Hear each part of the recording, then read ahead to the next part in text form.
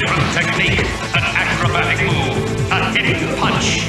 It's on the streets now, exclusively on Super Nintendo.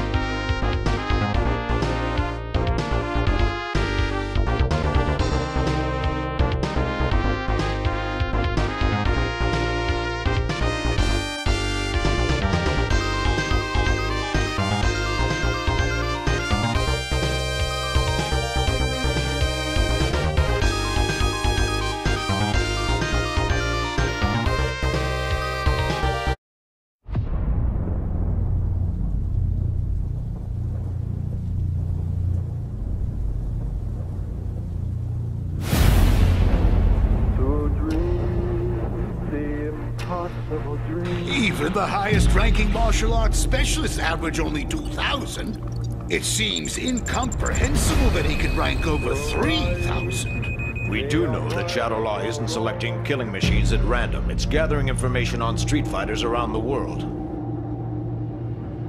To reach the unreachable star.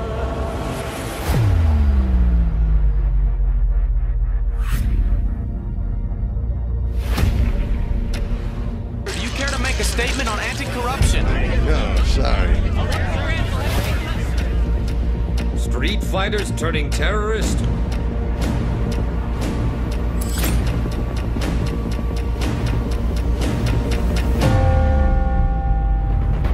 Don't you realize the potential of becoming an even better fighter than Ryu?